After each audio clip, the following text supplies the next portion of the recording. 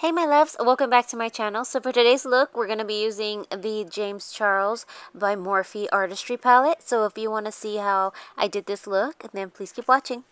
So before we begin, I've already applied some concealer on my eyelid. And this one is ColourPop Pretty Fresh Concealer. You can use any base that you like. This is going to give you an even toned surface to work on, as well as help any eyeshadow just stick on there a little bit more. Next, I will be taking this little brush right here by Morphe Brushes and this shade from the James Charles palette and I'm going to start applying that all in my crease area. Now, this brush doesn't have a number because it was from one of their bundle sets that I had bought a long time ago, so I'm sorry about that.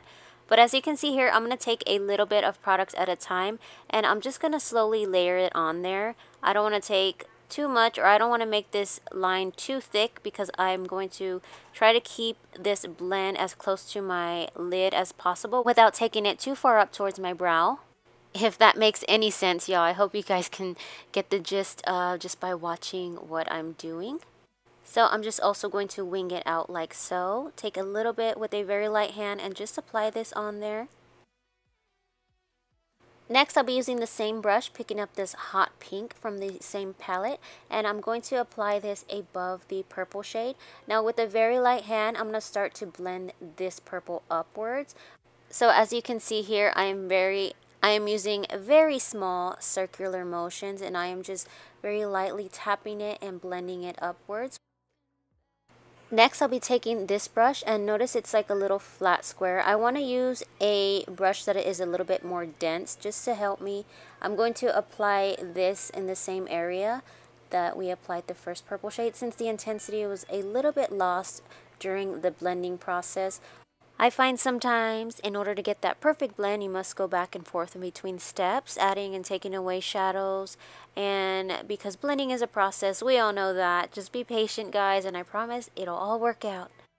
So as you can see, I'm just lightly smudging this upwards as well and just going back and forth really until I like the intensity that it is at.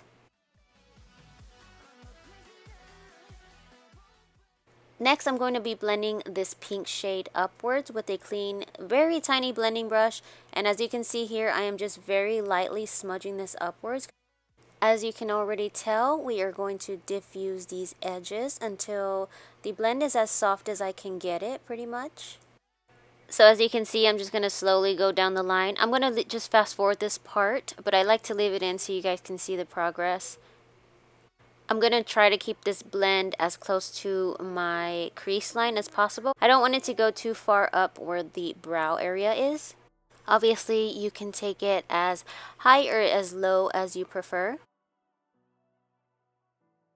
Now here, I'm just taking a very small smidge of that pink shade again, and I'm just going to use this to buff upwards just very lightly because I want it to be a little bit more vibrant. So next I'm going to be taking just a hint of that yellow shade for the last step of this blend. I really want to apply this at the edge just so that we can give it a little bit more color to it. You can see how it's starting to look a little bit like a tropical sunset and you can totally skip the yellow if you like. It's all up to you. So let me just fast forward this part so that we can move on to the cut crease. Next, I'm going to be taking the same concealer that we used in the beginning and I'm going to carve out my crease on a small e.l.f. concealer brush. I am just going to do this really quick. So here I'm just going to speed up the clip so that you can still see the shape of the crease that I'm going to achieve today. So originally I was going to go for a different look but ended up applying glitter all over the lid itself. The glitter that we'll be using today is the Pixie Dust Violet Voss Glitter Topper.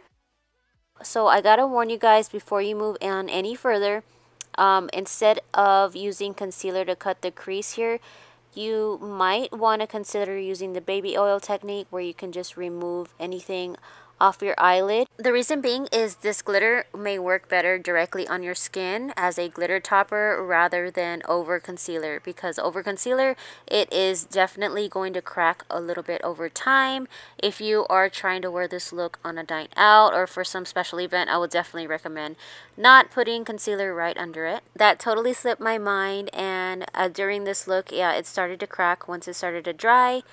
So, try not to make that same mistake that I did. I was still able to make it work for the photo and whatnot, but just giving you guys a heads up.